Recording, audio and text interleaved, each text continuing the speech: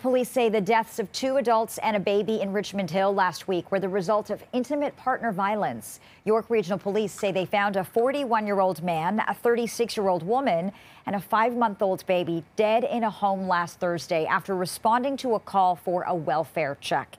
Police say they will not be releasing much more information, including the names, as requested by family members.